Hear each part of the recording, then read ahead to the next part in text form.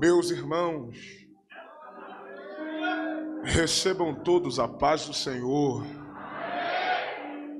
A paz do Senhor, irmãos. Tem alguém feliz com Jesus aí? Diga glória a Deus. Deus é bom em todo tempo. Infinita é a sua misericórdia.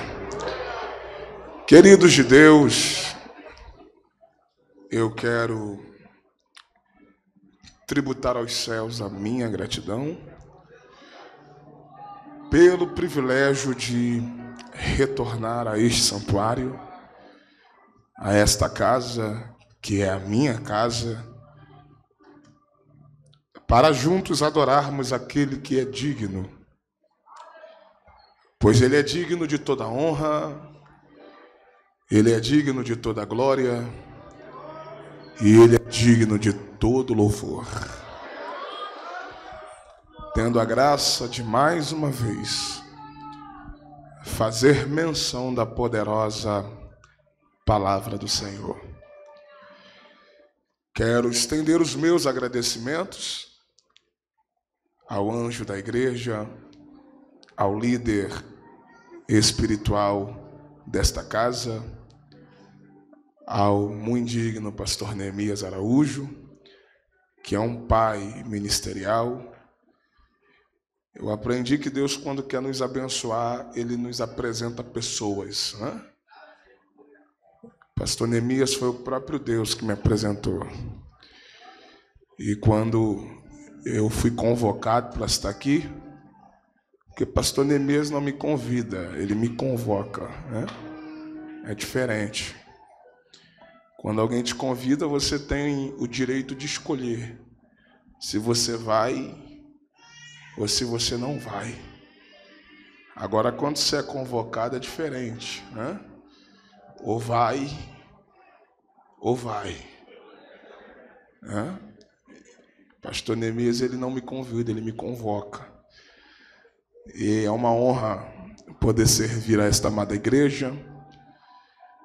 A Bíblia diz que Deus ama aqueles que o amam, e os que de madrugada lhe buscam o acharão.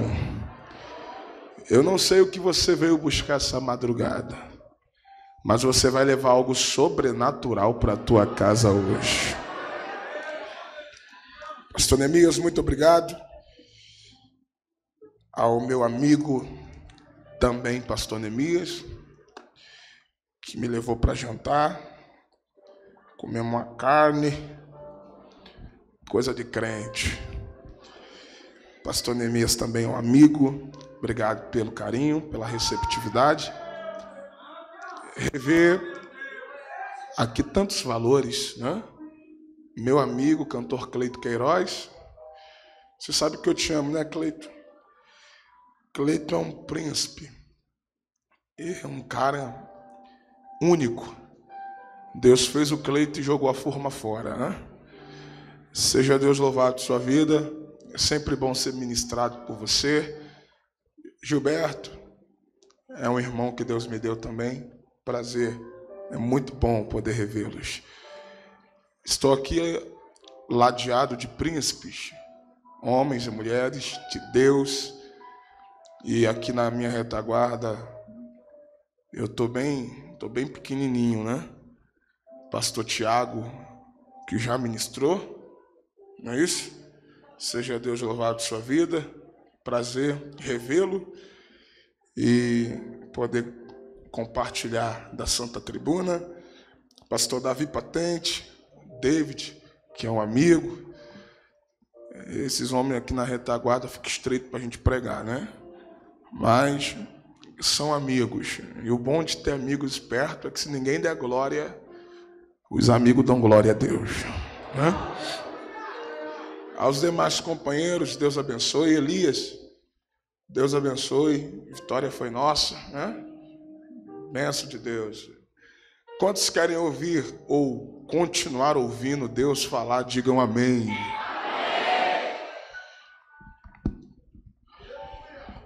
Como nosso amigo Cleito já nos poupou o trabalho de fazer o apelo, só me resta clamar batismo com o Espírito Santo, né? Então eu vou dar um. Vou ministrar algo de Deus aqui, depois a gente clama aí um batismo, né? Vocês topam? Então, então vamos embora. Eu quero, eu quero andar mais com Cleito. E Cleito alivia a gente. João capítulo de número 14. Santo Evangelho de Jesus, segundo escreveu João, capítulo de número 14. Aleluia. Serei breve, mas serei fiel. Fiquei sabendo que tem crente aqui desde as 9 horas da noite, né? Fala para alguém que está perto de você, diga aí, a tampa da chaleira vai voar. Aleluia. João capítulo de número 14, o Santo Evangelho de Jesus, escrito por João. Eu quero ler alguns versículos a partir do primeiro parágrafo. Quem achou, diga vigília. Está escrito assim: Não se turbe o vosso coração. Credes em Deus, crede também em mim. Na casa de meu pai há muitas moradas. Se não fosse assim, eu vou-lo teria dito, pois vou preparar-vos lugar. E se eu for, eu vos preparar lugar, virei outra vez e vos levarei para mim mesmo, para que onde eu estiver, estejais vós também. Mesmo vós sabeis para onde vou e conheceis o caminho, disse-lhe Tomé: Senhor, nós não sabemos para onde vais. E como podemos saber o caminho? Disse-lhe Jesus: Eu sou o caminho e a verdade e a vida. Ninguém vem ao Pai senão por mim. Libere as suas mãos, por favor. Levante o dedo de profeta lá em cima, Senhor. Aleluia. Meu Deus, olha que lindo. Dedo de profeta lá em cima com carinho e respeito, aponte esse dedo para esse crente mais pentecostal que tiver perto de você aí. Aponte o dedo do profeta para ele aí com carinho e respeito. E diga para ele assim, ó, aquilo que o teu olho não viu, teu ouvido não ouviu, não subiu ao coração do homem, são as coisas que Deus preparou para aqueles que o amam. Se tem alguém que acredita que vem coisa boa por aí, enche essa casa de glória a Deus. Aleluia. Senta dando glória, senta funcionando. Aleluia. Aleluia. Aleluia. Queridos, quando você ouvir que a vigília está encerrada, ali fora, na saída dos irmãos, Vai ter um obreiro ali com uma mesa e eu estou com alguns livros ali. O Espírito Santo me deu a graça, me presenteou com esta obra.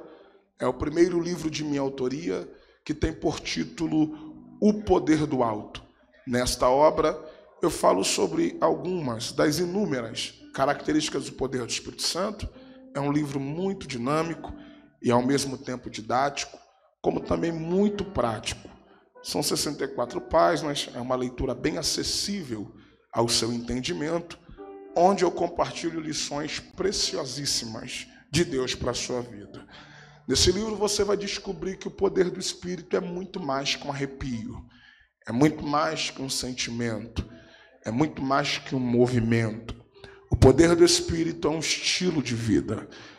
E você lendo este livro, certamente essa leitura será de extrema relevância para a sua vida espiritual, cooperando com o seu crescimento. Passe lá, será um prazer te receber. Queridos, estamos diante de um texto que nos fala a respeito de um dos ensinamentos do nosso Senhor Jesus Cristo. Na verdade, Jesus está dando uma palavra de ânimo, uma palavra de encorajamento para os seus discípulos. Se nós observarmos o contexto, o ambiente é o ambiente da última ceia. E na última ceia, alguns princípios são estabelecidos, alguns ensinamentos são deixados e algumas coisas são reveladas.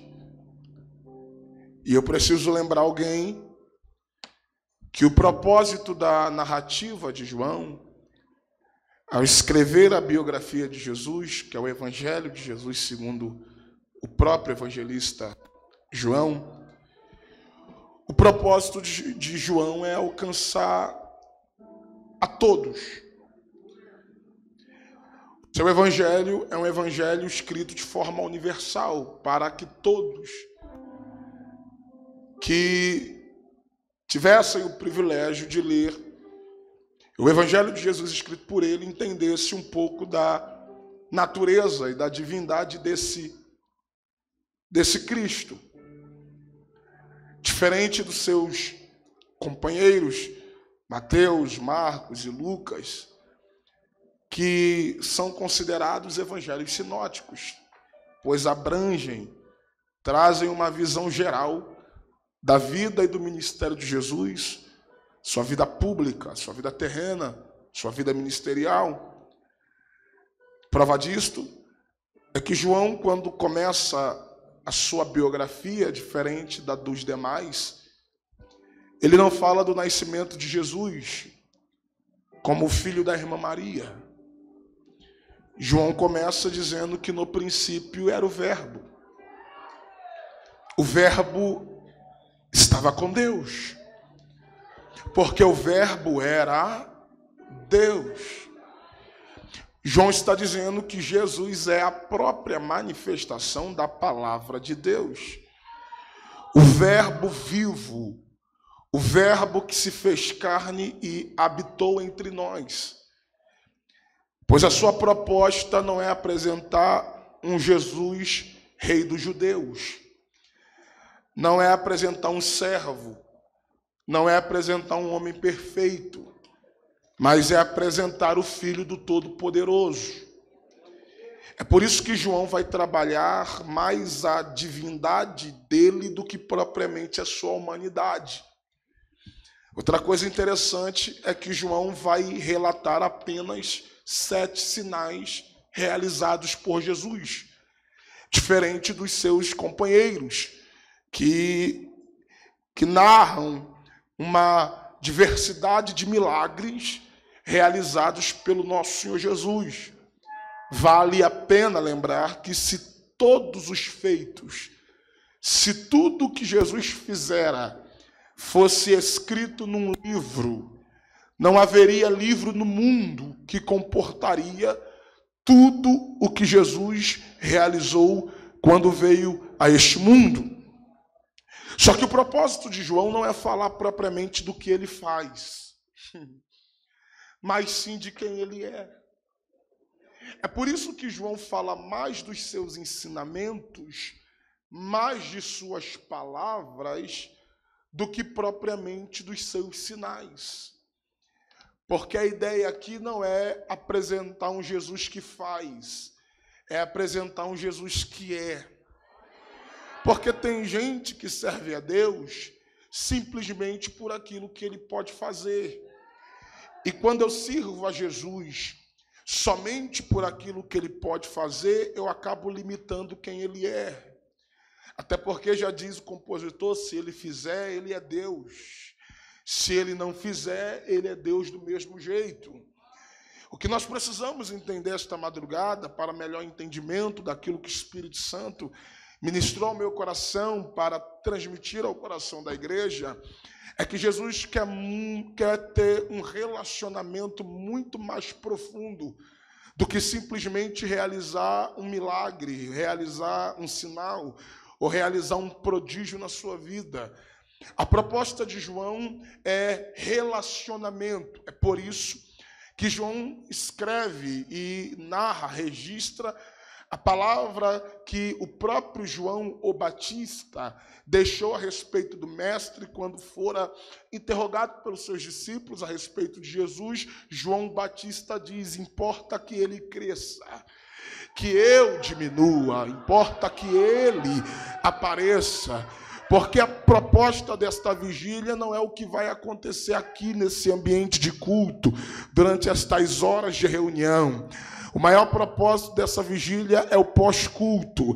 É quando essa vigília acabar, Jesus pegar na tua mão e dizer: Eu vou para a tua casa junto contigo. Eu vou caminhar contigo. Eu vou viver contigo. Essa é a proposta. Então, João fala de um relacionamento. E o relacionamento com ele é muito maior, muito mais poderoso, muito mais profundo do que, do, do que aquilo que ele pode realizar. É por isso que João fala mais de suas palavras, mais dos seus ensinamentos, do que propriamente dos seus milagres. Então, Jesus, no capítulo de número 14, ele está dando uma palavra de ânimo, ele está dando uma palavra de fortalecimento, ele está dando uma palavra de encorajamento para os seus discípulos. E por que destas palavras? Aí nós precisamos observar e entender o contexto. Porque no capítulo de número 13, o texto diz que eles tinham acabado de cear.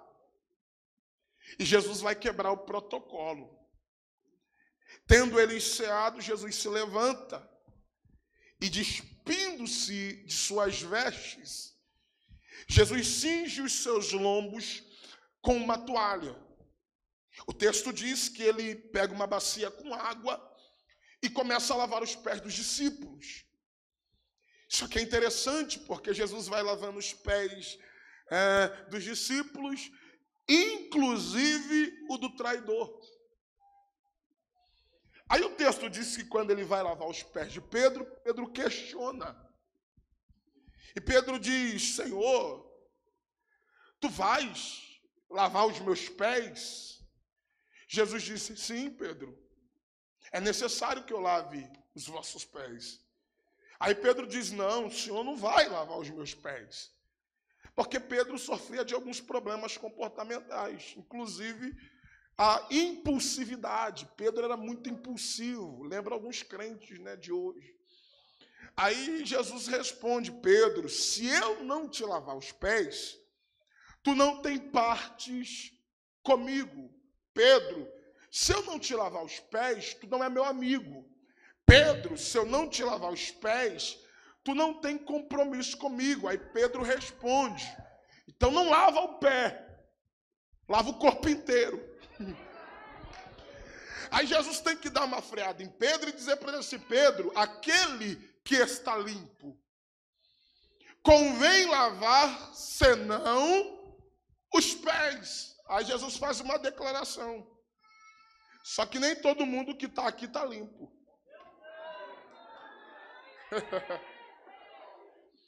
É claro que essa palavra, é claro que essa declaração já apontava para o traidor. Porque Jesus está lavando os pés dos discípulos e ele se dispõe a lavar os pés até daquele que vai o trair. Aí Jesus vai estabelecer um princípio. Qual, pastor? Jesus diz: Eu sendo vosso mestre, Estou lavando os pés de vocês? Então, em verdade vos digo que vocês deverão lavar os pés uns dos outros. E por que, que Jesus está estabelecendo esse princípio? Porque maior no reino, já disse Jesus, não é quem é servido, maior no reino é quem serve. A excelência do ministério não está em ser servido, a excelência do ministério está em servir.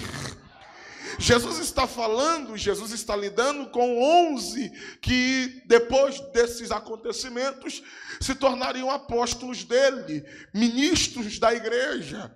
Então Jesus está ensinando para os seus discípulos que após a sua partida e ao assumirem o apostolado, eles deveriam lavar os pés um dos outros.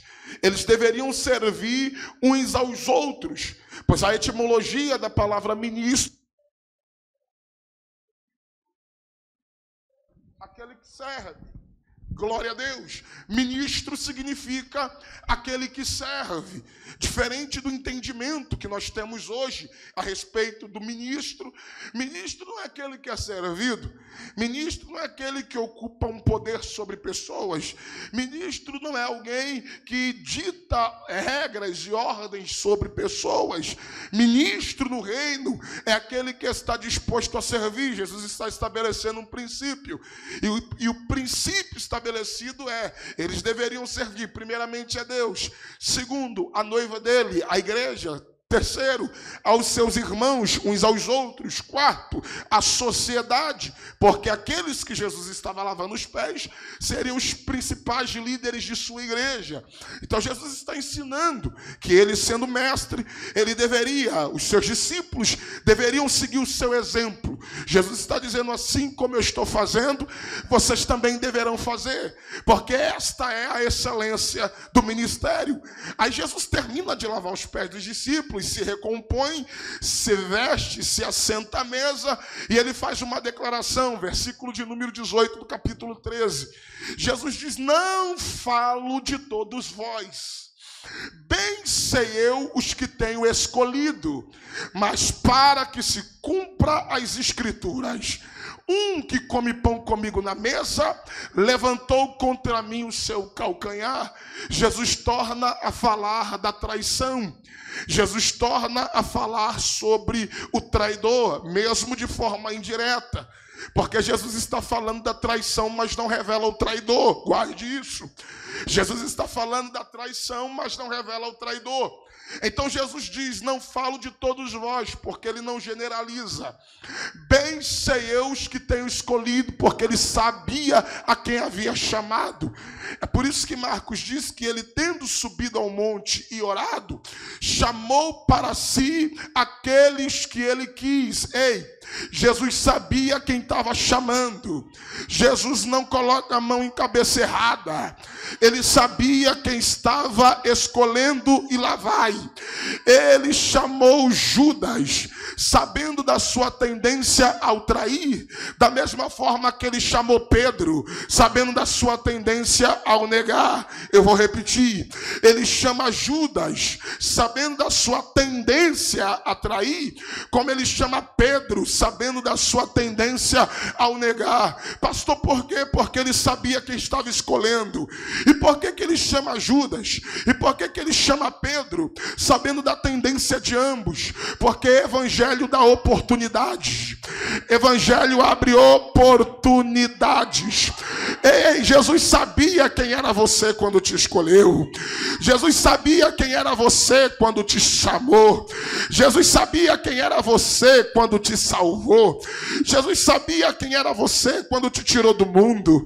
Jesus sabia quem era você quando decidiu te separar para o ministério. Jesus sabia quem era você quando decidiu te levantar como obreiro. Jesus sabia quem era você quando decidiu te usar para ser um pregador de sua palavra. Jesus sabia quem era você quando decidiu te usar para ser profeta na sua casa. Não se engane, ele te conhece mais do que você mesmo se conhece. Ele te conhece mais do que a tua esposa te conhece. Ele te conhece mais do que o teu marido te conhece. Ele te conhece mais do que o teu pastor te conhece. Ele sabe das tuas tendências, Ele sabe das tuas fraquezas, Ele sabe das tuas debilidades, Ele sabe aonde é que teu calo aperta, e mesmo sabendo quem é você, Ele apontou o dedo e diz: Eu quero, eu quero, é meu, eu vou usar, eu vou fazer. Pastor, por quê? Porque o Evangelho da oportunidade. Diga para alguém: o Evangelho da oportunidade. Bem sei eu os que tenho escolhido. Eu não sei quem vai pegar. Mas para que se cumpra as escrituras. Começando a esquentar. Um que come pão comigo na mesa levantou contra mim o seu calcanhar. Eu não sei quem é que vai pegar. Olha o que Jesus está dizendo: para que se cumpra as escrituras. Olha para esse crente perto de você e diga: para que se cumpra as escrituras. Que é isso, pastor? Jesus está dizendo: o traidor tem que estar tá no grupo. O traidor tem que estar tá na mesa. O traidor tem que estar tá presente. A traição tem que acontecer para que se cumpra o que está escrito. Um que come pão comigo na mesa levantou contra mim o seu calcanhar e eu vou começar. Jesus está dizendo que a traição faz parte de um propósito já determinado. Eu vou repetir. Para que se cumpra as escrituras, o Judas tem que estar presente. E eu não vim como advogado do traidor, não, mas eu vim, eu vim dizer algumas coisas que o Espírito Santo me revelou. O que, pastor? Primeiro, que a traição de Judas não é fruto propriamente do seu mau caratismo. A traição de Judas não é simplesmente o desejo do, do, do mau caratismo de Judas. Que é isso, pastor? Não, não. Jesus disse: para que se cumpra as escrituras tem que acontecer. Alguém tem que trair. Alguém tem que vender. E por que, que Jesus disse para que se cumpra as escrituras? Porque Jesus não teria problema nenhum de perdoar Judas. Porque um dia ele perdoou Pedro. Olha para quem está perto de você e diga: ele não teria problema nenhum de perdoar o traidor. Diga. Da mesma forma que Pedro foi perdoado, mesmo Jesus dizendo: Pedro, antes que o galo cante, três vezes tu me negarás. Mesmo Jesus dizendo, Pedro, aquele que aqui na terra me negar, lá no grande dia eu também o negarei. Mas Pedro negou, pastor. Mesmo Jesus avisando, porque crente é assim. Jesus fala, Jesus revela, Jesus diz não vai por aí, Jesus diz não faz isso, Jesus diz toma cuidado. Mas o crente às vezes é cabeça dura. Jesus avisa, mas ele vai e cai no laço. Jesus avisa, mas ele vai e peca. Jesus avisa, mas ele vai e erra. Crente é assim.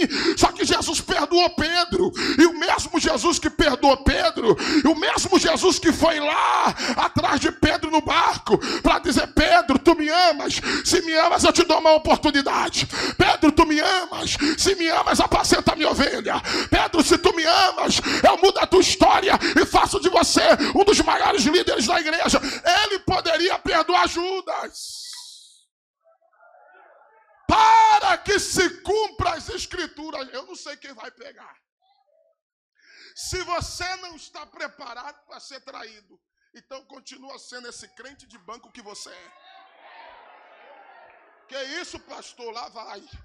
Se tu almeja fazer algo relevante na obra de Deus, se você almeja ser um obreiro da casa de Deus, se você almeja fazer algo é, relevante na vida de alguém, ser influência na vida de alguém, prestar um serviço de excelência para Deus, esteja preparado para Que é isso, pastor? Deus me livre. Só veio na vigília dizer que eu vou ser traído. Você está achando que você é melhor do que quem? Você está achando que você é melhor do que José? Porque José foi traído. Você está achando que é melhor do que Davi? Foi traído. Você está achando que é melhor do que Jesus, Jesus também foi traído. E tu acha mesmo que não vai ser? Ah, pastor, mas eu vim receber uma chave de vitória, eu vim receber uma porta aberta, eu sei que Deus vai abrir, eu sei que Deus vai dar. Só que o céu me trouxe aqui para dizer para alguém: quem te aproxima do propósito. Não é quem bate nas tuas costas e te bajula, quem te aproxima do propósito não é quem te elogia, quem te aproxima do propósito não é quem diz que você é o cara, não é quem diz que você canta demais, não é quem diz que você prega muito, não é quem diz que você é o melhor líder, que você é o melhor obreiro, que você é o melhor pastor, que você é o melhor dirigente, não. Quem te aproxima do propósito é o Judas que está sentado na tua mesa, esperando a primeira oportunidade de te trair, esperando a primeira oportunidade de te vender. Que é isso, pastor? Alguém tem que entregar. E quem foi lá entregar? Judas. Aí Jesus diz: para que se cumpra as escrituras. Um que come pão comigo na mesa levantou contra mim o seu calcanhar. Aí entra o versículo 21. E tendo dito isto, eu não sei quem vai pegar. E tendo dito isto, turbou-se. Pastor, por que, que Jesus turbou-se? Primeiro, porque Jesus também era ser humano. Jesus é Deus, porque Paulo diz que ele mesmo sendo Deus, porque ele é Deus, não teve por usurpação ser igual a Deus, mas antes humilhou-se a si mesmo. Ele se fez homem igual a mim, igual a você. E Jesus, sendo homem, ele estava sujeito a vontades, a desejos e a emoções como qualquer outro. Então, Jesus, tendo dito isto, turbou-se. Imagine você sentado numa mesa e do teu lado aquele que vai te trair e você sabendo quem é o traidor. Só que aqui entra a diferença entre você e Cristo. Por quê? Porque eu só sei quem é o traidor depois que a traição acontece. Já percebeu? Já percebeu que você só descobre quem é o traidor depois que foi traído? Você nunca descobre quem é o traidor antes que acontecer. Jesus não. Jesus já sabia quem era o traidor antes mesmo que a traição acontecesse. Então ele está dizendo: ó, entre vós um vai se levantar contra mim, entre vós um vai levantar o calcanhar. Aí ele diz assim: e, na verdade, na verdade vos digo que um dentre. Aí ele é mais direto, ele é mais direto. Um dentre vós é o traidor. Um dentre vós há de me trair. Jesus revela a traição, mas não expõe o traidor. Jesus revela a traição, mas não expõe o traidor. Pensa comigo, o clima que tomou a mesa, porque Jesus diz: um dentre vós há de me trair, e um está olhando para a cara do outro, está escrito, porque um olhava para o outro sem saber de quem ele falava. Se ninguém sabia quem ele falava, então imagina na mesa, um olhando para a cara do outro e tentando identificar nas características pessoais de cada um quem possivelmente seria o traidor. Logo, o primeiro a ser desconfiado foi Pedro. Alguém olhou e disse: Não, deve ser Pedro, porque do grupo é o mais problemático. Deve ser Pedro, porque Pedro é sanguíneo, Pedro é impulsivo, Pedro é ignorante, Pedro é bipolar. Pedro é bipolar? É, aí alguém diz esses dias: Eu vi Jesus repreendendo Satanás, que tentava ser andar na vida dele. Ora é Deus que usa, ora é Satanás que está ser andando. Pedro era problemático. Alguém disse: Não. Deve ser Pedro. Aí alguém olhou e disse: Não, deve ser João, porque João é o mais íntimo. João é quem, quem deita no peito dele. João é quem está sentado do lado direito dele. Deve ser João. João que deve ser o traidor, é o que está mais próximo. Alguém diz: Não, eu aposto que é Mateus, porque Mateus não está muito liberto. Jesus, quando chamou ele, lembra quem ele era? Ele, dos doze era o único publicano. Ele era corrupto, ele era cobrador de impostos, não está muito liberto, não não. Jesus chamou ele, mas não está liberto, não deve ser Mateus. Alguém disse: não, o, o traidor deve ser Tomé, porque Tomé é o mais incrédulo. Aí está um olhando para a cara do outro e tentando identificar nas características pessoais de cada um quem possivelmente seria o traidor. E eu vou dizer um negócio aqui sem medo de errar: ninguém desconfiou de Judas, ninguém desconfiou. Que é isso, pastor? Eu provo no texto. Ninguém desconfiou de Judas. E por que, que ninguém desconfiou? Lá vai. Traidor não tem cara de traidor. Traidor não fala como traidor. Traidor não tem comportamento de traidor. Traidor não tem jeito de traidor. E eu vou dizer um negócio aqui: Judas do grupo, se não único, era um dos únicos que tinha formação acadêmica, era homem de confiança, tesoureiro do grupo. Então ninguém suspeitava. A prova disso é que quando Jesus disse: O que tu tem que fazer, faça agora, e Judas se levanta da mesa, todo mundo pensou o quê? Judas está indo fazer um favor para Jesus. Judas está indo fazer alguma coisa que Jesus mandou. Mas ninguém suspeitou, ninguém imaginava que ele estava indo executar o ato da traição. Porque traidor ele já era, porque já estava premeditado. Você lembra quando Lúcifer foi expulso do céu, destituído do seu posto? Ele nem precisou executar, só premeditou. Isaías disse no capítulo 14, a partir do versículo 12: Porque tu dizias no teu coração: Eu subirei e colocarei o meu trono acima das estrelas de Deus. Aí Jesus vem no sermão da montanha dizendo que aquele que só em pensar, só em premeditar, já está pecando, não precisa nem executar, só de imaginar, já está pecando. Judas já havia premeditado. E antes de trair, Jesus já sabia e já tinha revelado. Só que ninguém no grupo sabia. Pastor, e por que Jesus revela, mas não expõe? Revela, mas não expõe. Primeiro, porque evangelho não expõe. Segundo, é o traidor, você não precisa perder tempo expondo ele. O tempo vai revelar quem ele é. Eu vou repetir traidor, você não precisa perder noite de sono, você não precisa perder a tua paz, você não precisa investigar, pode ficar em paz, porque o tempo vai dizer quem é o traidor. Evangelho nos põe, Jesus não precisou expor o traidor, o tempo disse quem ele era. Pastor, e por que é que Jesus não expõe? Primeiro, porque o traidor o tempo revela. Aí o texto diz que Pedro, porque Pedro é problemático, Pedro olhou para João e disse assim: pergunta para ele quem é o traidor. Judas queria só saber quem era, porque Pedro, por menos coisas, Malco tocou em Jesus, ele arrancou a orelha de Malco. Imagine se Jesus dissesse quem era o traidor. Aí Pedro olhou para João e disse: pergunta para ele quem de nós é o traidor. Aí João reclina a cabeça no peito de Jesus e diz assim: mestre, qual de nós é o traidor? Jesus diz para João: ei, o único que soube quem era o traidor? Antes que o traidor se revelasse, foi João. Jesus disse para ele: aquele que eu der o bocado molhado, esse é o traidor. Aí o que é que Jesus faz? Pega o bocado molhado, molha e discretamente, discretamente, para que ninguém percebesse que era Judas. Ele molha o bocado e entrega na mão de Judas. Eu não sei quem vai pegar. Ele molha o bocado e entrega na mão de Judas. Quando ele molha o bocado, entrega na mão de Judas, está escrito assim, ó. E Satanás entrou. Enquanto Jesus está revelando a traição, o traidor está na mesa. Sabendo que é ele, mas está na mesa. Enquanto Jesus está revelando o ato da traição, o traidor está sentado na mesa.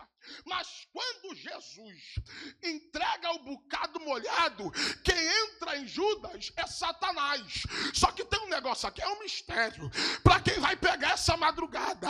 O que, pastor? Quando Satanás entrou, Jesus olhou e disse: O que tu tem que fazer, faça agora. A primeira coisa que Judas faz quando Satanás entra é se levantar e se retirar da mesa.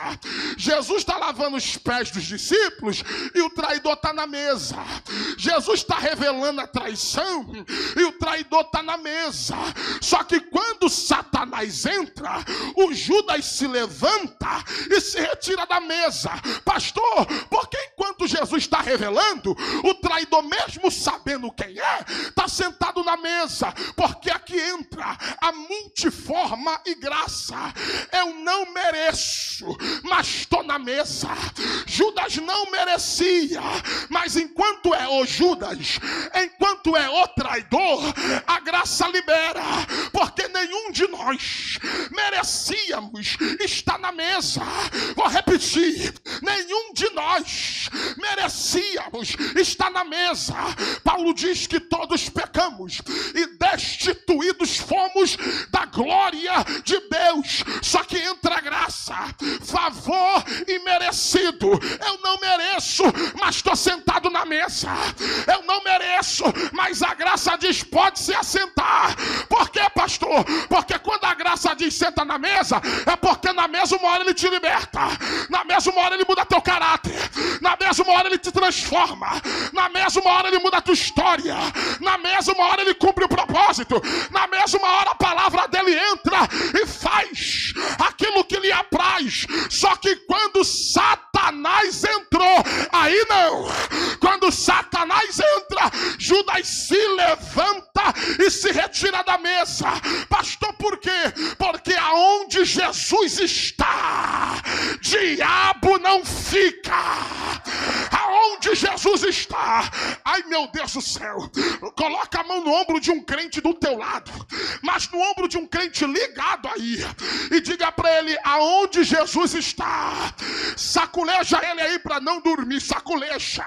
E diga aonde Jesus está. Diga diabo não fica. Diga enquanto é o Judas tá na mesa, mas quando é Satanás tem que se levantar e se retirar da mesa. Eu tô com uma palavra aqui e eu vou soltar para quem tem glória.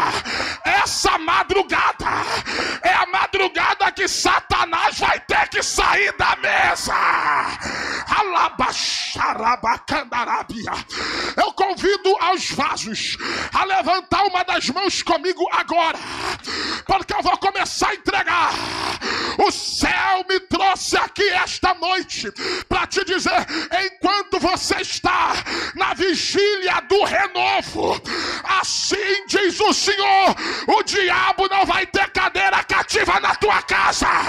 Alabaia. Alabacandarábia. O diabo não vai ter cadeira cativa no meio da tua família. Eita! Aonde tiver um crente de mão levantada dando glória, o céu acabou de me dizer: está descendo discernimento espiritual aqui agora. Quem tem glória, aumenta o volume. Quem tem aleluia, aumenta o volume. Quem é batizado com o Espírito Santo, aumenta o volume. Esse lugar vai tremer. Anacasséria, Alamandarábia.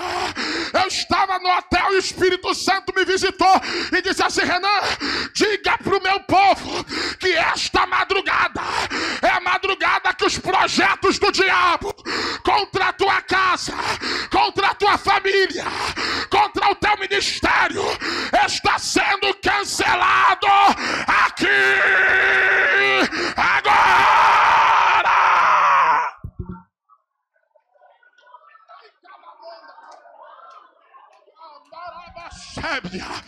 Aponta o dedo de profeta para alguém. Aponta o dedo de profeta alguém. O meu corpo começou a arrepiar. Pastor Neemias, aponta o dedo para alguém aí e diga: enquanto você está aqui, tem demônio saindo do meio dos teus negócios. Enquanto você está aqui, tem demônio saindo do meio da tua parentela. Enquanto você está aqui, tem demônio saindo do meio da tua família.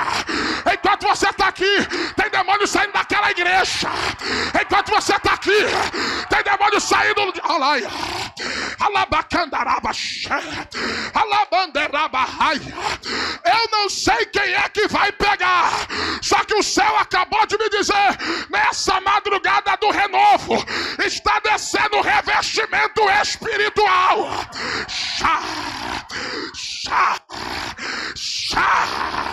Eu convido os crentes batizados com o Espírito Santo a dar um minuto de glória comigo agora.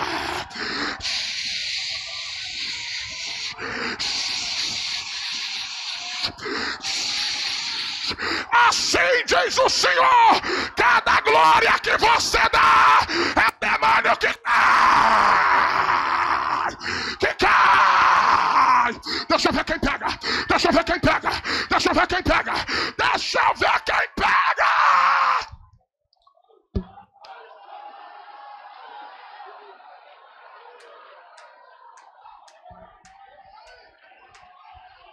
Ei, Meu Deus do céu, eita, Pastor Tiago, meu coração arrepiou, dos pés à cabeça. Vigília, não é lugar de crente Nutella. Vigília, não é lugar de crente frio morto. Vigília, não é lugar de crente sem visão. Vigília, não é lugar de crente que não tem discernimento espiritual. Eu vou falar um negócio aqui, é forte. Tem gente que está tão vazio, mas tão seco, que Satanás sentou do lado dele. E ele está pensando que é discípulo, ele está pensando que é crente. Quando Satanás chegou na mesa, Jesus olhou e disse: Eu já te vi, eu já te vi. Meu Deus do céu, meu Deus do céu, coloca a mão no ombro de alguém, no ombro, no ombro de alguém, mas no crente ligado aí. Coloca a mão no ombro dele, enquanto o meu sonoplasta dá retorno para mim. Coloca a mão no ombro dele, dá um saculejo nesse crente aí e diga: Tu não vai ficar enganado. Diga, diga, tu não vai meu Deus. Ai, ai, ai, ai. Arabacaixa, alabacalaba, alabarrabaxa. Enquanto eu estou pregando aqui, está descendo autoridade espiritual no meio dos vasos. Agora, agora, agora, agora. Meu Deus, assim diz o Senhor: tu não vai ficar enganado. Deus já vê.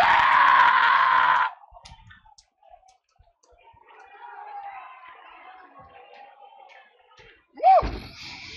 Olha para quem está do teu lado aí. Diga para esse crente aí: Tu já viu a história do profeta velho? Diga, pergunta para ele aí. Pergunta, já viu a história do profeta velho? Lá vem a mulher de Jeroboão, disfarçada. Eu estou sem retorno nenhum aqui, santo. Lá vem a mulher de Jeroboão disfarçada. Quando ela chegou na casa do profeta velho, ela pensou que ia enganar o profeta, porque o profeta estava cego. Quando ela pisou na porta, o profeta gritou: Mulher de Jeroboão, não adianta disfarçar. Jesus do céu. Olha o que o céu acabou de falar para mim. Se prepara, porque depois dessa vigília, quando tu chegar em casa, que Satanás tentar se andar no meio da tua família, o céu vai abrir os teus olhos e tu vai dizer: aqui não, aqui não, aqui não.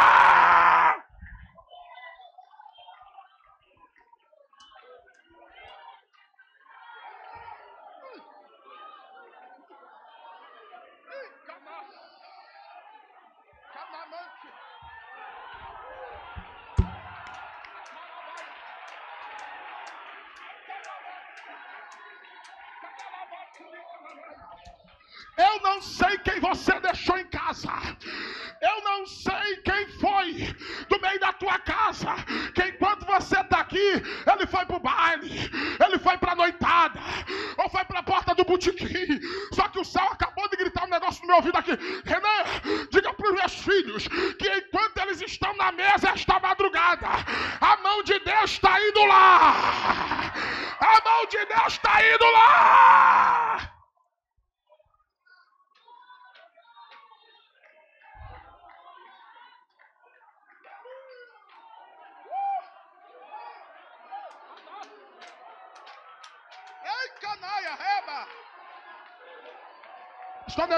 Está descendo mistério aqui. Anaia. Papai acabou de me dizer que está colocando sapato de fogo no pé dos vasos aqui agora. Pastor, por quê? Porque essa madrugada é madrugada de pisar em serpentes e escorpiões. Meu Deus do céu, olha para um crente ligado aí do teu lado, ligado. Diga para ele assim: ó, Deus não perde para a pandemia. Grita no ouvido dele ou dela e diga: Deus não perde para a pandemia. Diga: enquanto você está aqui, tem projetos do diabo sendo cancelados agora. Naquela mata virgem, naquela encruzilhada, naquele cemitério, aquela obra de macumaria que fizeram para parar até o ministério. O céu me trouxe aqui para dizer: eu reuni o, meu, o meu exército aqui esta madrugada, porque enquanto meu povo glorifica e guerreia, o céu está passeando em Betim esta madrugada. Eu não sei quem crê em mistério. Eu não sei se tem terreiro de macumba aqui nessa redondeza. Eu não sei se tem nessa região. Só que o céu falou um negócio para mim aqui muito forte. Ele disse: Renan, não vai descer entidade nenhuma em Betim essa madrugada. Porque o céu de Betim está tomado por uma nuvem de glória por uma nuvem de glória. Sacode alguém, diga é hoje. Diga Satanás vai sair da mesa. Grita para alguém aí é hoje. Satanás vai sair da mesa.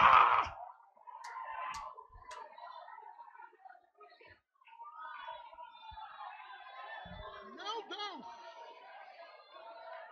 Meu Deus.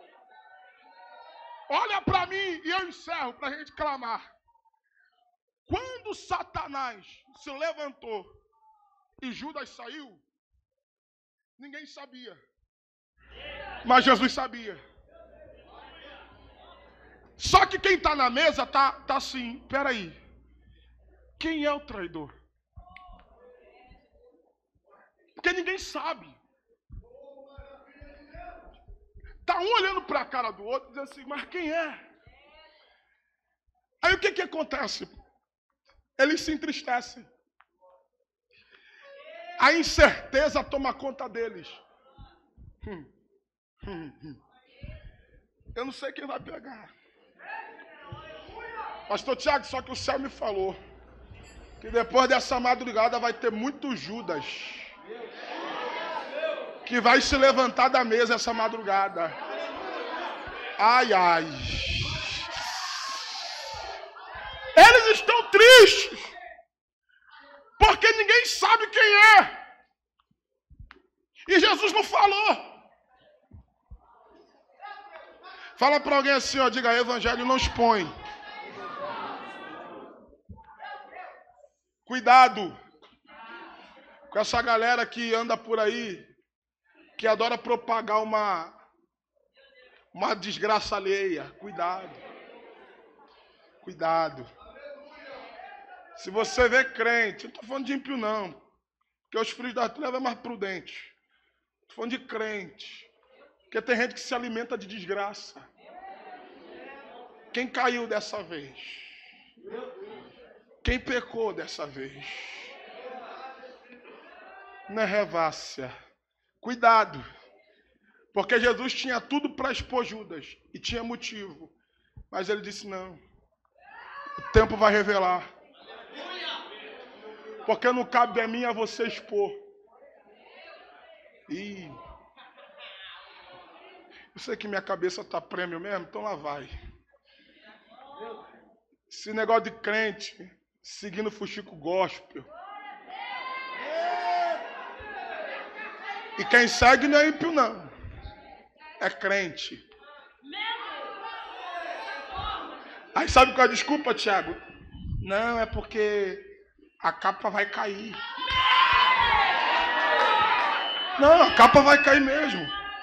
A Bíblia diz que não há nada oculto que não há de ser. Agora posso te dar uma palavra? Quem propaga está tão errado quanto quem caiu. Porque a diferença entre quem está lá e quem está compartilhando, nenhuma. Está na mesma balança. Só que Jesus diz assim: não precisa expor. O tempo vai revelar. Aí os discípulos estão assim, um olhando para a cara do outro, desconfiado. Quem imagine você numa mesa e Jesus dizer para você: um dentre vós é o traidor. E ele não fala quem é. Está um olhando para a cara do outro. Quem será? Quem será? Aí entra o texto que eu li com vocês.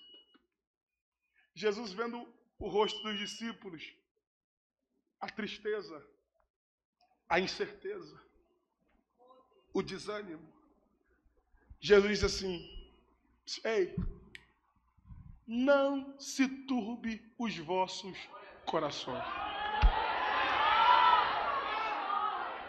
Credes em Deus e crede em mim. Porque na casa de meu pai há muitas moradas. E se não fosse assim, eu não vou teria dito, pois eu vou preparar-vos lugar. Para que aonde eu estiver, vocês também estejam comigo. E se eu for e vos preparar lugar, virei outra vez. Como Deus usou o Cleito aqui essa madrugada. Porque o céu confirmou o que ele colocou no meu coração. Escute isso aqui. Na mesa está uma incerteza. Quem será? Aí Jesus toma a palavra e diz: Não se turbe. Credes em Deus e crede em mim. Sabe o que Jesus está dizendo aqui? Você não tem que olhar para quem errou ou vai errar. Tem que olhar para mim. Pastor, por quê? Porque Cristo é o modelo. Cristo é o padrão. Cristo é o perfil. Ele é quem não falha. Ele é quem não erra. Ele é quem não te decepciona. Uma das problemáticas dos nossos dias é que nós estamos vivendo dias onde pessoas estão fundamentando a sua fé em pessoas e não em Cristo. Quem é o autor e consumador da nossa fé? É Ele.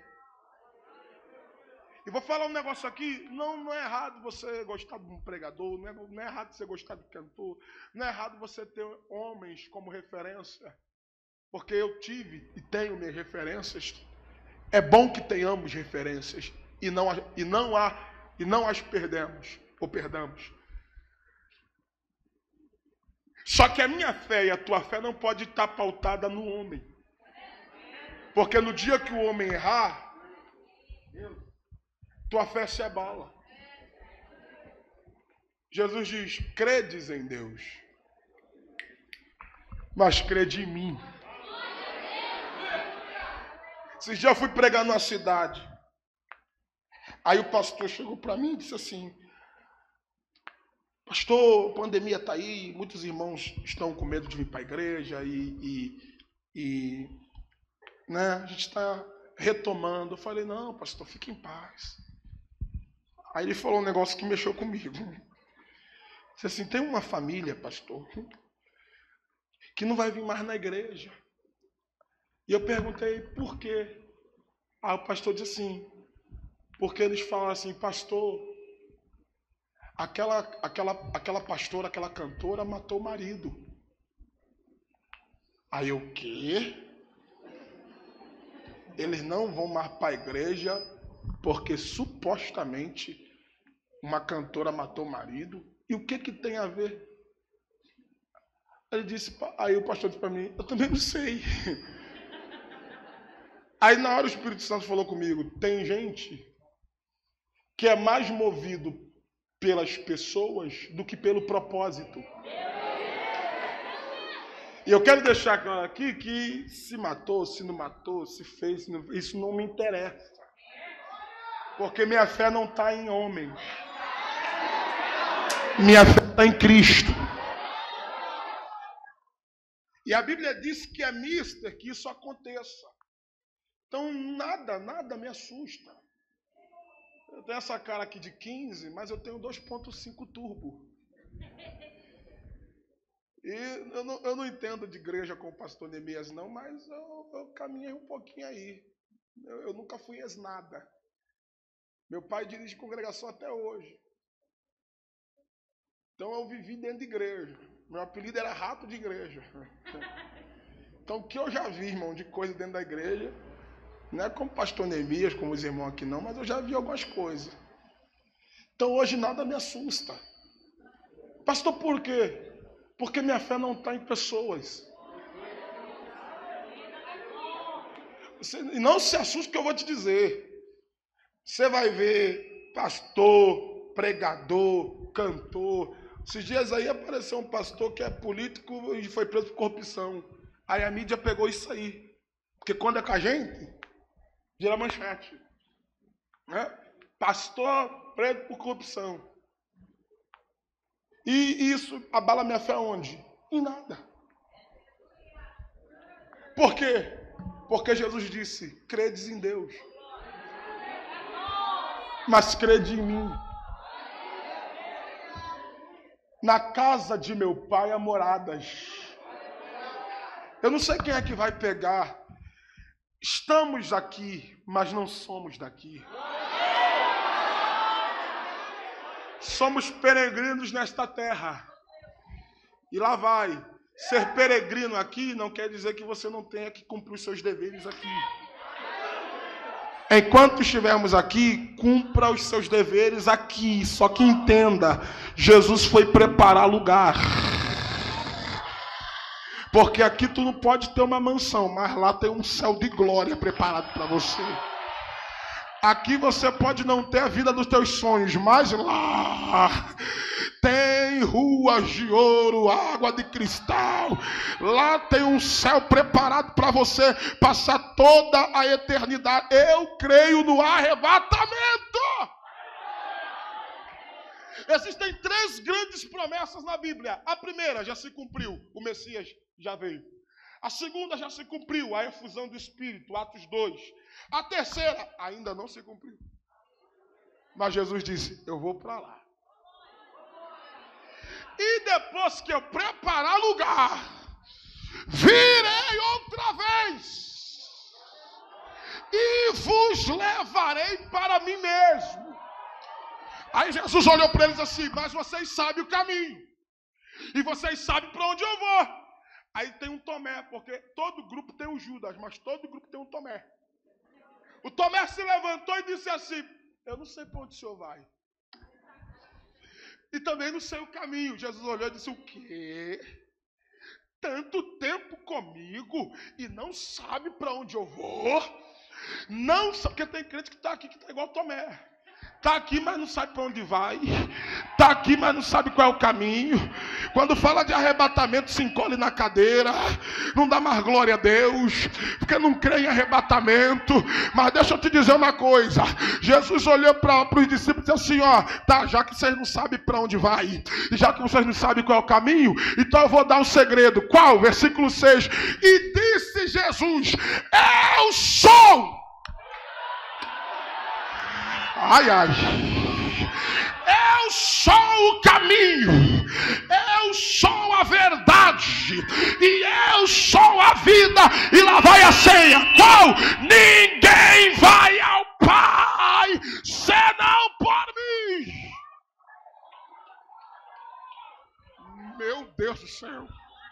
Quando Jesus diz eu sou o caminho, o caminho fala de direção. Quando Jesus diz eu sou a verdade, verdade fala de certeza. Quando ele fala de vida, ele fala de promessa. Então, quando Jesus diz eu sou, porque a pergunta, a, o questionamento de Tomé é: eu não sei para onde vai e não sei o caminho. Então, Jesus vai dar três afirmações. Primeiro, eu sou o caminho, porque quem está em mim não se perde, eu sou a direção. Segundo, eu sou a verdade, porque em mim não há sombra de dúvidas e nem de variação.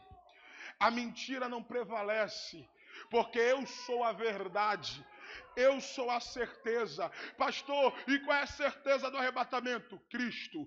Pastor, e qual é a certeza que o meu lugar está preparado na glória? Cristo. Pastor, qual é a certeza que ele vai voltar? É a sua palavra. Porque passará o céu e a terra, mas a sua palavra não passa. Mas a sua palavra não passa. E ele diz: Eu sou a vida, promessa. Jesus está dizendo: Eu sou a direção e vos dou a certeza da promessa. Olhe para quem está do teu lado e diga: essa vida é passageira.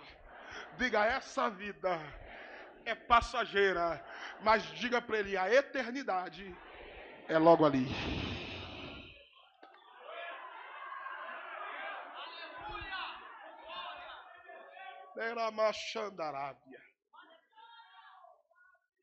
Pastor, o que te faz dizer isso com tanta convicção?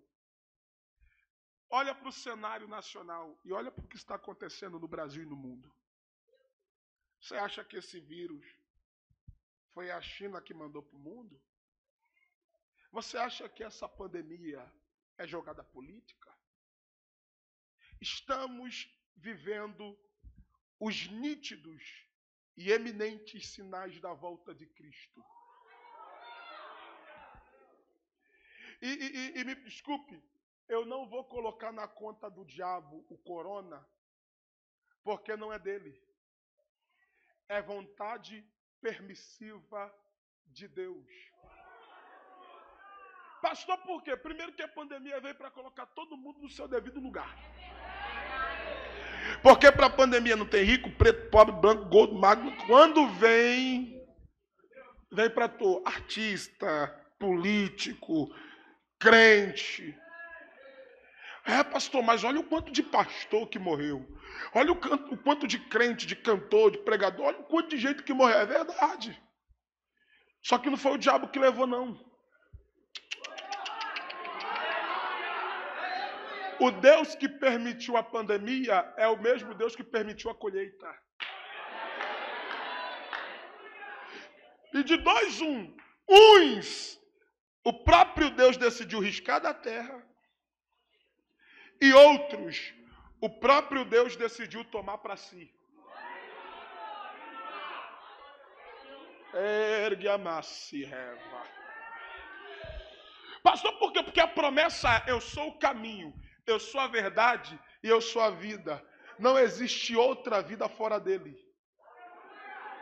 Então a vontade dele é boa, perfeita e agradável.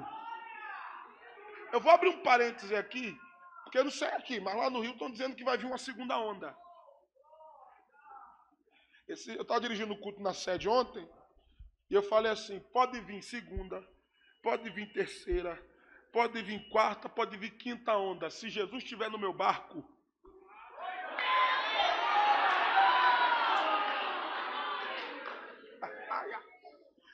Pastor, por quê? Porque quem foi? E eu, particularmente, perdi muitos amigos, irmãos. E eu estou pregando para pessoas que também perderam alguém. Porque ninguém está isento da pandemia. Ninguém está isento do corona. Corona veio para todos. Jesus permitiu. Os sinais estão aí. Parece que eu vejo o relógio marcando a meia-noite. Porque a trombeta soará. Paulo diz: Eis que vos digo um mistério: nem todos morreremos, mas todos seremos transformados. No momento, num abrir e fechar de olhos, ante ao som da última trombeta, porque a trombeta soará e os mortos ressuscitarão primeiro e os vivos seremos transformados incorruptíveis. Porque isto convém que aquilo que é mortal se revista da imortalidade, e isto que é corruptível se revista da incorruptibilidade. Porque quando isto que é mortal se reveste da imortalidade, e isto que é corruptível se reveste da incorruptibilidade, então cumprir-se-á a palavra que foi dita, tragada, tragada, tragada foi a morte na vitória. Aí Paulo pergunta: Ó oh morte, onde está o teu agrilhão? Ó oh inferno, aonde está a tua força? O agrilhão da morte é o pecado, e a força do pecado é a lei. mas graças a Deus que nos dá a vitória pelo nosso Senhor e Salvador Jesus Cristo. Porém, vos digo: sedes firmes e constantes, firmes e constantes, sempre abundantes na obra do Senhor, sabendo que o vosso trabalho não é em vão. Prepara para dar glória. Se você não parou agora, meu irmão, não é nessa reta final que você vai parar.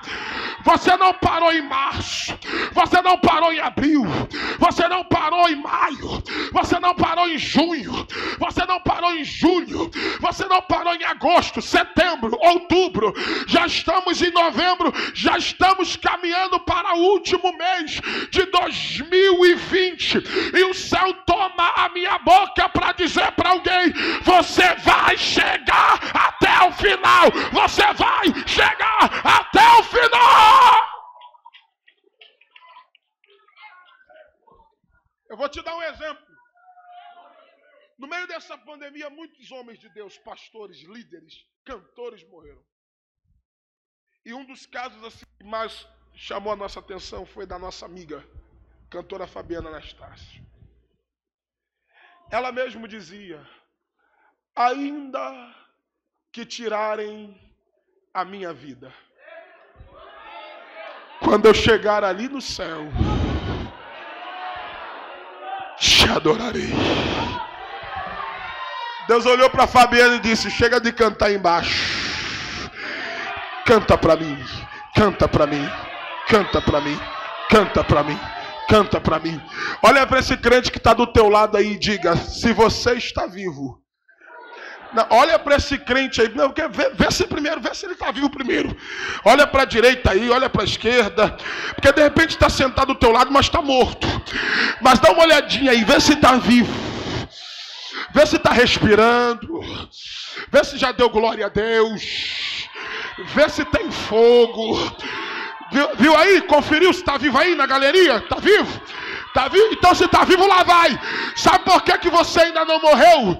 Não é porque você é melhor do que alguém, não é porque você é o imune, é porque Deus tem propósito na tua existência. Deus tem propósito na tua. Coloca a mão no ombro de um vaso aí, perto de você, dá um saculejo nele. Cadê o meu tecladista? Eu estou sentindo falta do meu teclado. Dá um som para mim aí, coloca a mão no ombro desse crente. Dá um saculejo nele aí para ele acordar. Dá um saculejo nela aí para ela acordar. E diga: Deus tem propósito na tua existência. Diga: a morte não é o fim. Diga: a morte é o começo de uma promessa feita pelo Todo-Poderoso. E eu não sei quem vai pegar. Pode ser hoje. A, a vigília pode não terminar. A trombeta pode soar. E se a trombeta tocar, um povo cheio do Espírito Santo vai subir hoje. Alabanderebia. Levante as tuas mãos. Aleluia. Por alguns segundos e comece a receber o que o céu está liberando sobre nós aqui agora. O céu acabou de me dizer, Renan, eu vou começar a renovar crentes aqui agora. Tem gente que entrou aqui para baixo, mas vai sair daqui para cima. Tem gente que entrou aqui desanimado, mas vai sair daqui renovado. Tem gente que entrou aqui apagado, mas vai sair daqui aceso. Pode se preparar, porque aquilo que não te mata, meu amigo, vai te fortalecer essa madrugada. Eu convido aos crentes do glória e do aleluia. Abrirei a boca comigo agora. Alabacandarábia porque está descendo labareda, labareda, labareda, labareda. Pega!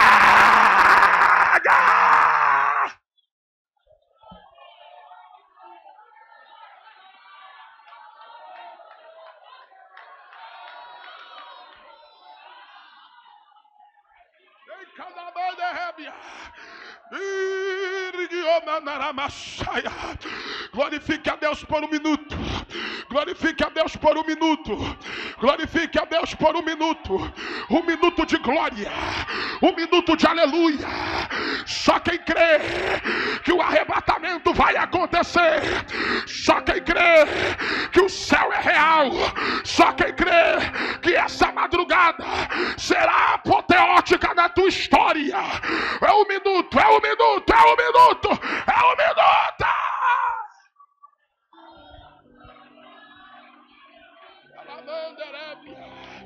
Aleluia. Tem guitarra também, tem bateria também aí.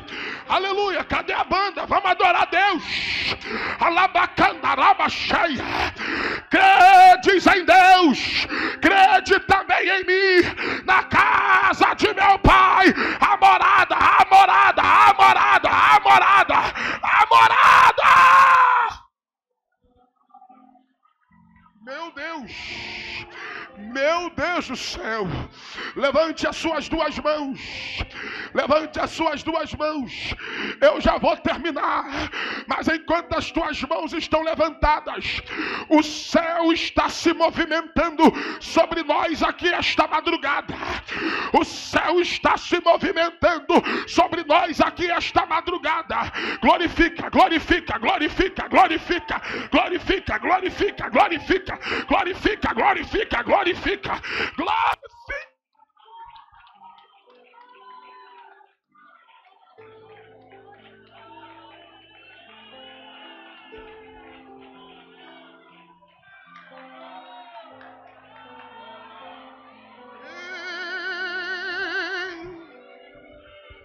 Adorarei, Senhor, mais uma vez te adorarei. Sou adorador.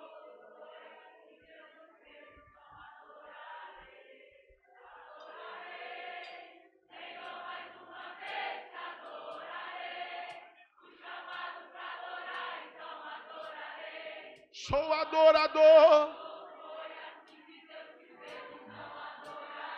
Tira o fundo. Adorarei. Tira o fundo. Tira o fundo musical.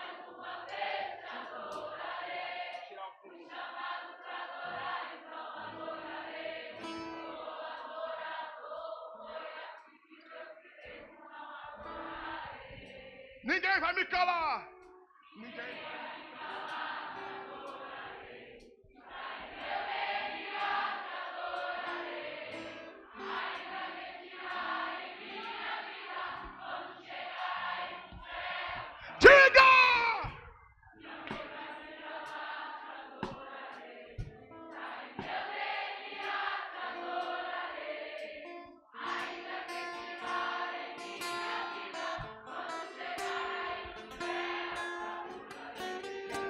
Adorarei, adorarei.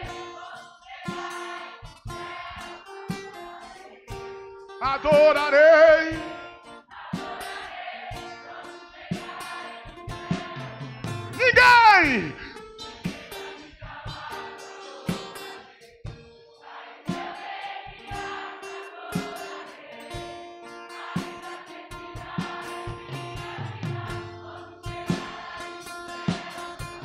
Levante as suas duas mãos.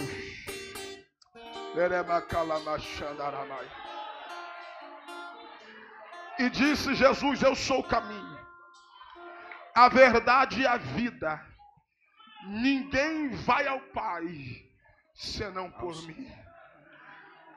João olhou e disse assim: Eu vos batizo com água.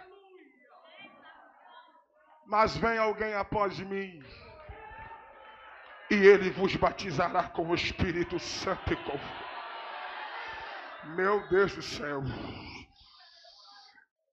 Acha alguém perto de você aí. Calamaia. Cata o braço desse crente assim, ó.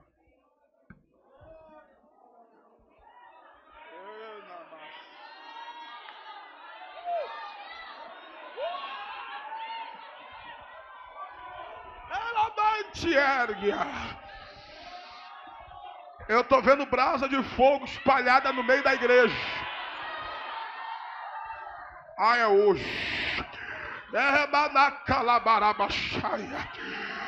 Deus vem buscar uma igreja.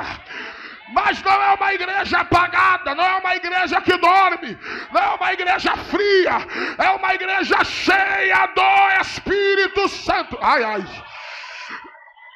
Deus vai começar a encher crente aqui agora. Cata no braço desse crente.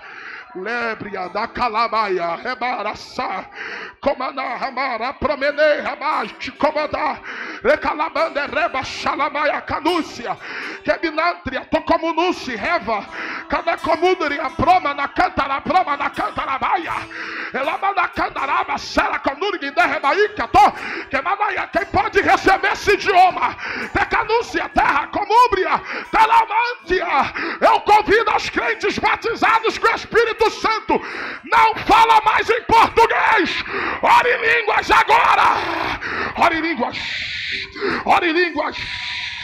Ore em línguas. Olha, lá, pastor Neemias. Olha lá, Baracanda, Taracomanaia. Quem não é batizado começa a abrir a boca para falar em línguas agora também. Charamacandarabia. Alabande calabarabaia. Cadude reba. Candaracomunácia.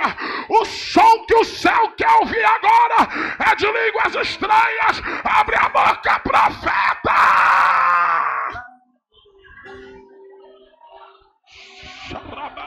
Terabaia, Cadute, Reba, Calabande, Calabaia, Terraba, Canaterrabaia. Quando o crente fala em línguas, o inferno fica maluco.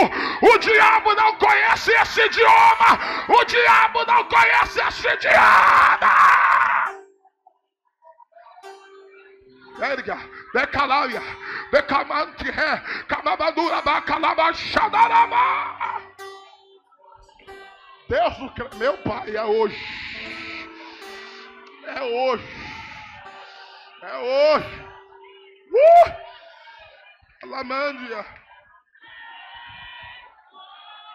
Quem não é batizado com o Espírito Santo, levante as mãos. Pastor, eu não falo em línguas estranhas. Levante a mão. Glória a Deus. Quem é batizado com fogo, com língua estranha, levante a mão.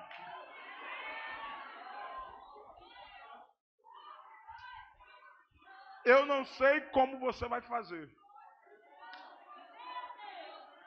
É loucura. Quem não fala em línguas, corre aqui para o altar. Mas vem rápido. Pastor, hoje eu quero hoje eu, hoje eu quero falar em novas línguas. Sai do teu lugar e corre para o altar.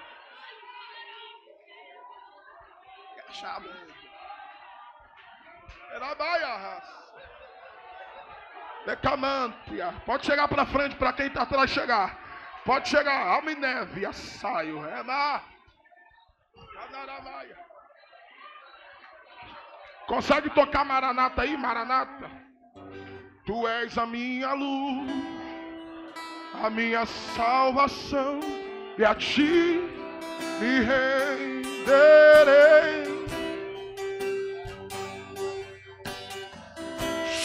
ao teu lado estou. Eu nada temerei.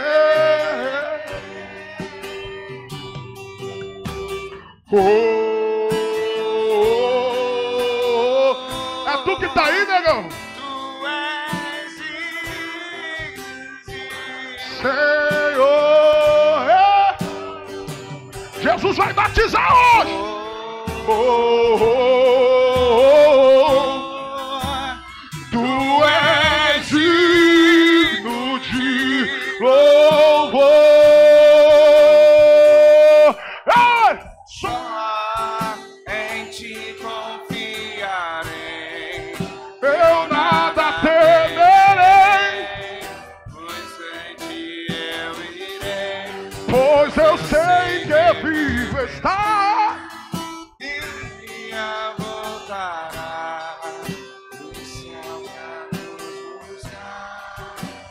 sempre reinará.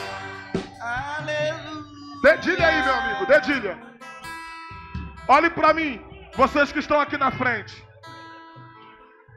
Vocês que estão aqui na frente, que ainda não são batizados, olhe para mim. Jesus me batizou com sete para oito anos de idade.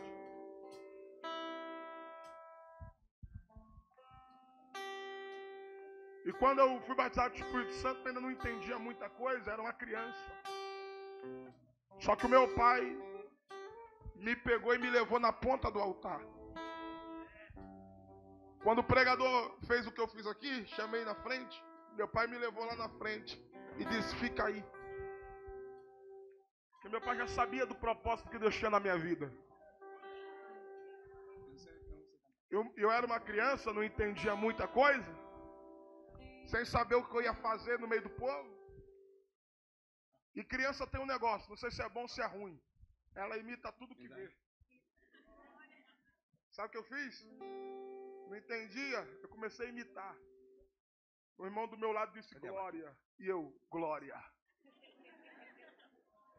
O outro disse aleluia. E eu, aleluia. E eu comecei, glória, aleluia. Glória, aleluia. Glória, aleluia. Glória, aleluia. Irmão, eu só sei que o negócio emendou. E eu não conseguia mais parar. Aí a minha língua começou a enrolar, já não era mais glória. É glória, glória, glória.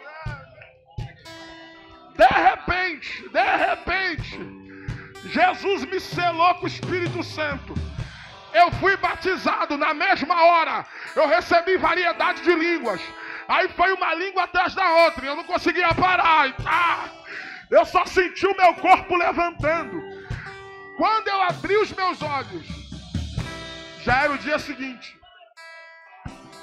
E eu perguntei, pai, o que, é que aconteceu?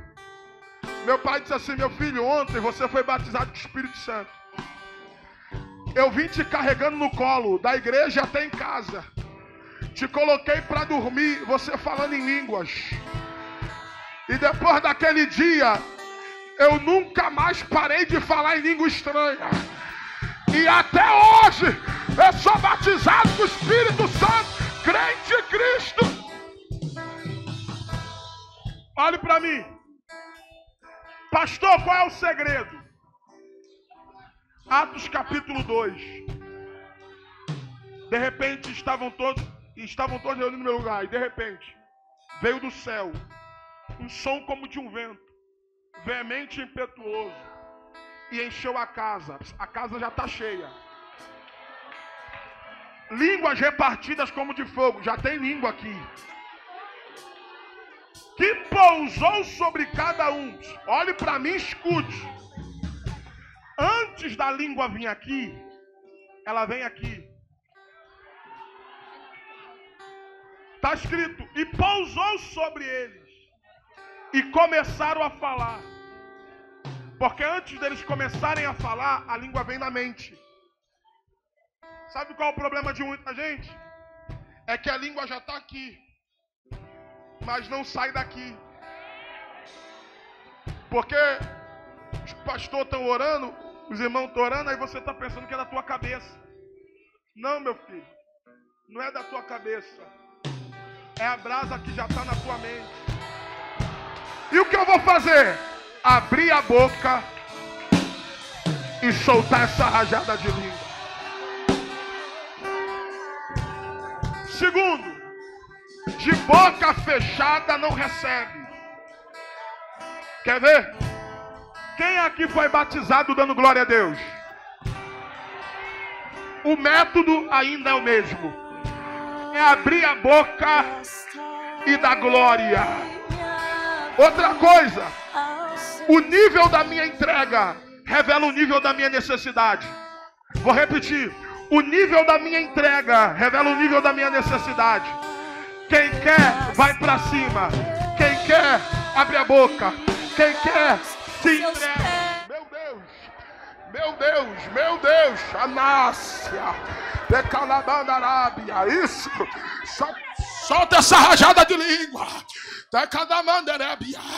Decalabaia. Meu Deus do céu. Meu Deus do céu. Jesus vai batizar mais aqui. Oh, já batizou dezenas. Alabanderebia. Decalamaia. Toda a igreja, levanta as mãos agora. Toda a igreja. Meu Deus do céu. Até aqui na frente, pode fazer isso também. Levante as duas mãos. Vira de frente para alguém aí, de dois em dois. Vira de frente para alguém aí, de dois em dois. Dá um sol menor para mim aí, meu filho. Sabe tocar corinho de fogo? Lá do Rio de Janeiro. Que é os mistérios do Rio. Sol, sol menor. Não, dá um sol maior. Esse, esse corinho aí também é apagado. Vai dar, dá um tom, vai dando tom aí. Levante as duas mãos. Ei, Hamas. Aí. Chegou, hein? Levante as duas mãos em direção para alguém. Canta Eva Saragábia. Jesus vai batizar mais. E o Senhor falou para mim, Renan, eu vou tomar toda a igreja no mistério. Eu vou tomar toda a igreja. Ai, essa vigília vai ficar marcada, Renácia. É vigília do renovo. Ai, ai, 4h39 da manhã. E se tu ficou aqui até agora, é porque tu quer receber poder. Estenda a mão sobre ela. Estenda a mão sobre ele, de dois em dois. Chacoalhe as mãos. Chacoalhe as mãos sobre ela. Chacoalhe as mãos sobre ele. Meu Deus, aqui na frente, faz isso. Jesus vai batizar mais vai batizar mais. Aí no meio da igreja, vai receber poder. Chacoalhe as mãos. Quando eu contar até três, tu vai tocar na mão dele, tu vai tocar na mão dela. Meu Deus, quando tu tocar, a glória que está em você vai passar para ele, e a glória que está nele vai passar para. Meu Deus, pastor, e o corona vai ser queimado agora. Levante a mão, Jesus dos. Eita, quando eu falar três. Chá! É hoje, vai ser agora. Eu digo, vai explodir. Faz aí na galeria também. Na galeria também, Deus vai tomar os vasos. Eu digo dois, tua vida não será mais a mesma. Dois e meio, se prepara para receber poder da cabeça ao pé. Eu digo dois e cinquenta, a glória da última casa será maior. Eu digo três, toca nela, toca! Toca! Toca! Chá! Chá! Chá! Chá! Chá! Pega! Pega! Pega! Pega! Oh! Entra nessa marcha, entra tudo essa peleja. A batalha tá travada. Tá! Tá! Entra nessa marcha. Entra na peleja. Noite da tua vitória. E vem descendo agora o anjo lá da glória. Se você orou e deixa prometeu, abra tua boca agora e glorifique a Deus. Essa é a noite da tua vitória. E vem descendo agora o anjo lá da glória. Se você orou e deixa prometeu, abra tua boca agora e glorifique a Deus. Mergulha nessas águas, deixa as águas te envolver. O varão do movimento quer movimentar você. Mergulha nessas águas, olha lá, tá. Oh, mergulha nessas águas, deixa as águas te envolver. O varão do movimento quer movimentar você. Mergulha nessas águas,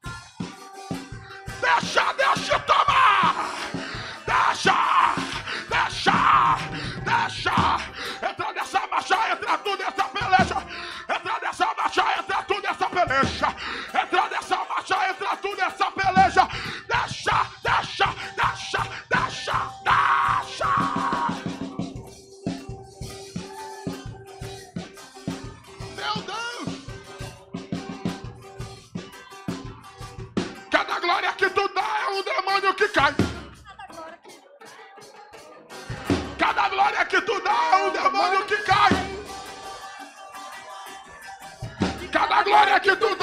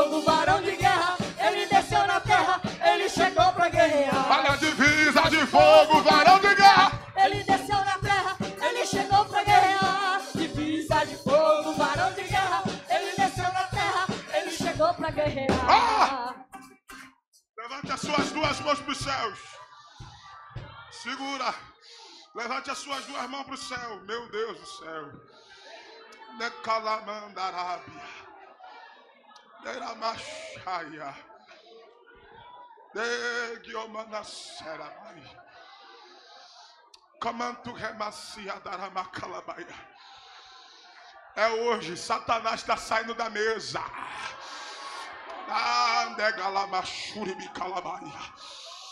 Quando eu contar até três, tu vai pegar todo o projeto do diabo contra a tua vida, contra a tua casa, contra a tua família, teu ministério, e tu vai jogar no chão e vai pisar em cima.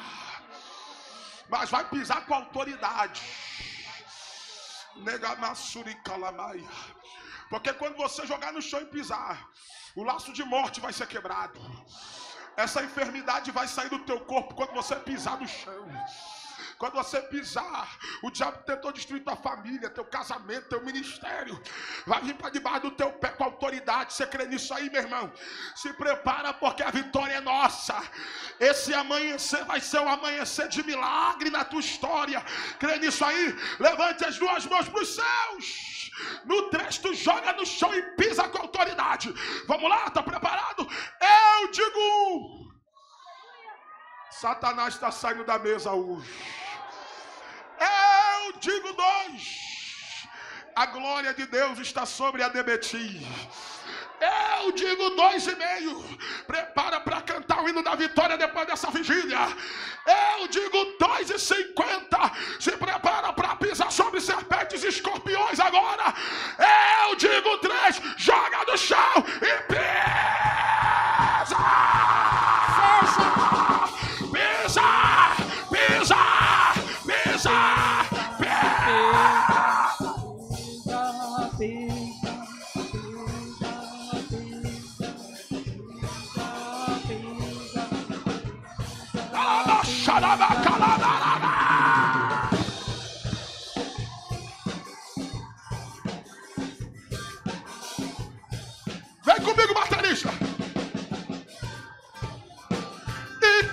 Pensou que tu morreu,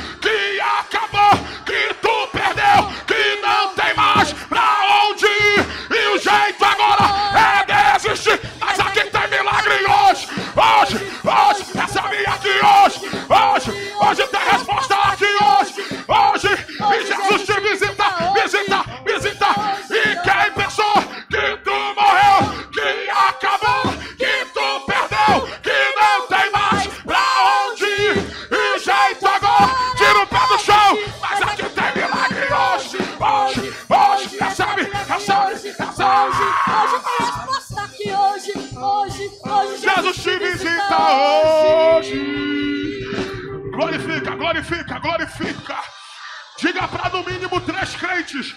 Diga o diabo perdeu. Deus abençoe. Mais um batizado com o Espírito Santo.